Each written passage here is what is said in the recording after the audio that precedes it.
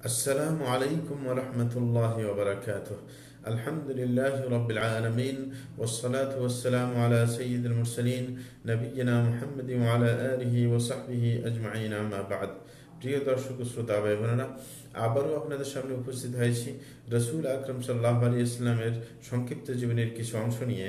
এই পর্বে যা থাকছে সেটা হচ্ছে দ্বিতীয় হিজরি সনের সব্বাল মাসে আরেকটা যুদ্ধ সংগঠিত হয়, সেটার নাম হচ্ছে গজবতু বনি কাইনুকা। এই কাইনুকা, বনি কাইনুকা, এটা কিন্তু ইহুদিদের একটা আপনার গ্রুপের নাম। রসুল আকরম ইসলাম এই বনি কাইনুকাকে ওই এলাকাটাকে গিরিয়ে ফেলেন, তখন তারা আত্মসমর্পণ করে। তখন রসুল আকরম ইসলাম তাদেরকে মদিনা থেকে বহিষ্কৃত করেন। দ্বিতীয় হিজরি সনের জিলহজ মাসে আবারও আরেকটি যুদ্ধ সংগঠিত হয়, যেটার নাম গজবতু আসাউইকা এবং এইখানে এই গজবার কারণ হচ্ছে যে আবু সুফিয়ান কি করল? আক্রমণ করে বসল মদিনার উপর এবং সে একজন আনসারিকে হত্যা করে। তখন রসুল আকরম ইসলাম দুইশো জন সাহাবিদেরকে নিয়ে তিনি যুদ্ধে বের হন। তাহলে এটার নাম গজবতু সাউইকা এরপর আপনার জিল হজের আবার দ্বিতীয় হিজড়ির জিল হজ মাসের দশ তারিখে আরেকটা ঈদ আপনার চলে আসে। হ্যাঁ সেটা হচ্ছে ঈদুল আবহা হ্যাঁ এটা আবার চলে আসে। এবং সর্বপ্রথম ঈদুল আধহা মুসলমানরা তখন থেকেই আপনার পালন করতে শুরু করে। রসুল আকরম সাল্লাহ আসলাম এই প্রথম ঈদুল আজহাতে তিনি সুন্দর সিংওয়ালা দুটি আপনার ভেড়া জবাই করেন। হ্যাঁ তিনি কোরবানি দেন। আবার দ্বিতীয় হিজরের জিলহজ মাসে আরেকটি ঘটনা ঘটে যায়, সেটা হচ্ছে ওথমান ইবনু মাদউন রাদিয়াল্লাহ তিনি মৃত্যুবরণ করেন এবং তার জানাজা আদায় করেন রসুল আকরম সাল্লাহ আসলাম এবং সাহাবেকরাম এবং তাকে বাকি এলাকায় দাফন করা হয়।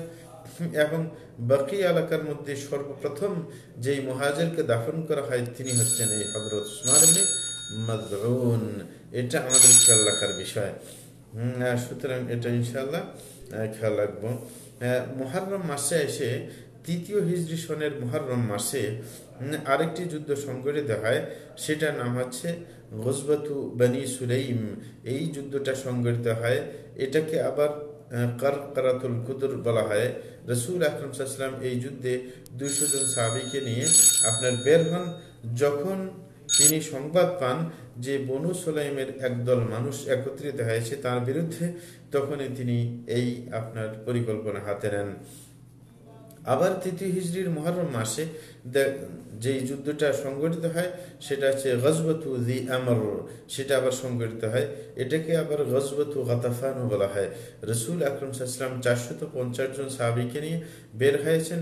যখন তার কানে আসলো যে গতফানের লোকেরা রসুলের বিরুদ্ধে আপনার একত্রিত হয়েছে। এরকমভাবে তিন হিজড়ি সনের হ্যাঁ জুমাদ আল আখরার মধ্যে রসুল আকরম সাহসালাম একটা সারিয়ে পাঠিয়েছেন জৈদ হারসার নেতৃত্বে এবং তার উদ্দেশ্য ছিল কুরাইশ বংশের বাণিজ্যিক দলকে আটকে ফেলা। তারা কিন্তু তা করতে সক্ষম হয়েছে এবং তাদের সম্পদগুলোকে গণিমত হিসেবে তারা গ্রহণ করতে পেরেছেন। আবার তৃতীয় হিজরি সনের রবির আউ্ল মাসে ওসমান ইবনে আফফান রাদিয়াল্লাহু বিবাহ করেন উম্মে কুলসুমকে। রসুল আকরম সাল্লামের আরেকটি মেয়ে উম্মে কুলসুম, যখন রোকাইয়াহ মৃত্যুবরণ করে, রসুল আকরম সাল্লাম উম্মে কুলসুমকে বিয়ে দিলেন হজরত ওসমান রাদিয়াল্লাহর কাছে। কিন্তু এই উম্মে কুলসুমের ঘর থেকে কোনো সন্তান হয়নি যদি রোকায়ের ঘর থেকে একটি সন্তান হয়ে মারা যায়। আবার তৃতীয় হিজরি সনের শাবান মাসে রসুল আকরম সাল্লাহ আসলাম বিবাহ করেন। তিনি হাফসা বিন্তু উমর উমর রাদিয়ালামে হাফসাকে বিয়ে করেন। এবং তিনি এই হাফসা কিন্তু কুমারী ছিলেন না। এই হাফসা রদি আল্লাহ রানহা কিন্তু খুনাইস ইবনে হুদাফা রদি আল্লাহ রানুর স্ত্রী ছিলেন। হ্যাঁ এই খুনাইস রদি আল্লাহ তিনি কিন্তু মৃত্যুবরণ করেন। তারপরে রসুল ইসলাম হজরত হাফসাকে বিয়ে করেন। হ্যাঁ এই রমজান মাসে আবারও রসুল আকরম সাল্লাম জাইনাব বেনতে খুজাইমা আল হেলালিয়াকে বিয়ে করান। এই তৃতীয় হিজরি সনের। হ্যাঁ কিন্তু ঘটনাচক্রে হুম। এই জাইনাব বিনতে খুজাইমা, তিনি কিন্তু রসুল আকরম সাল্লামের কাছে বেশি দিন থাকতে পারেননি। তিনি দুই মাস অথবা তিন মাস থাকার পরেই তিনি মৃত্যুবরণ করেন। ইনি রসুল আকরম সাল্লাহ আসলামের জীবদ্দশায় তার স্ত্রীদের মধ্যে হ্যাঁ একজন যিনি মৃত্যুবরণ করেন, যেরকম হজরত খাদিজা মৃত্যুবরণ করেন। তেমনিভাবে শাওয়াল মাসে তৃতীয় হিজড়ি শাওয়াল মাসের মাঝ, মাঝামাঝি ভাগে একটি যুদ্ধ সংগঠিত হয়। সেটা হচ্ছে গজবাই উহুদ।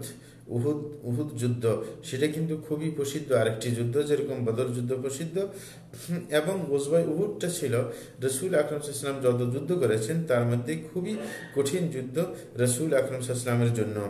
এই উহুদ যুদ্ধের মধ্যে রসুল আকরম সাল্লামের সামনের দাঁত ভেঙে দেওয়া হয় এবং মাথার যে আপনার লোহার টুপি, সেটা তার মাথার মধ্যে ঢুকে যায়। ব্যাপারটা তার জন্য খুবই কঠিন ছিল। আল্লাহ শাহরুহু তাকে শেষ পর্যন্ত হেফাজত করেন হ্যাঁ ফেরেস্তা নাজিল হওয়ার মাধ্যমে। এই যে গোসবাই উহুদ বা উহুদ যুদ্ধ হ্যাঁ এটা কিন্তু সাবেক গ্রামের জন্য একটা বিশাল পরীক্ষা ছিল যে তারা কি রসুল আকরম ইসলামের কে রক্ষা করার জন্য তারা কতটুকু নিজের জীবনকে দিয়ে দেন, সেটার পরীক্ষা ছিল। এই পরীক্ষাতে সাবেক গ্রাম আপনার পরিষ্কারভাবে একেবারে আপনার সফলতা অর্জন করেন, তারা পাশ করেন, কোনো সন্দেহ ছিল না, তারা তাদের দায়িত্ব আদায় করে আল্লাহ শানকে দেখিয়ে দিয়েছেন। যে তারা নিজেদের ওয়াদার উপর অবশ্যই রয়েছেন। আল্লাহ শাহানু আমাদেরকে পরবর্তী পর্বের জন্য অপেক্ষা করার তৌফিক দান করুন। হ্যাঁ এইখানে আমি এই পর্ব শেষ করতে যাচ্ছি।